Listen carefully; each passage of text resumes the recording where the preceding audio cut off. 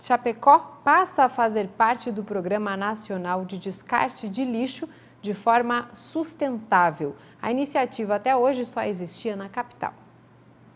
Uma das soluções apresentadas pelo movimento Lixo Zero é a diminuição dos rejeitos que são encaminhados ao aterro sanitário. Em Chapecó, apenas 6% do lixo vai para a reciclagem. Dois decretos foram assinados pelo prefeito Luciano Buligon, que estabelecem a meta do lixo zero para a prefeitura até 2020. O nosso programa é desafiar as consciências e pedir a participação. O objetivo é conscientizar a população quanto ao descarte correto, tanto de resíduos orgânicos como recicláveis. Chapecó tem uma geração, como todas as outras cidades, eh, uma geração de lixo bastante grande per capita, mais de um quilo por pessoa.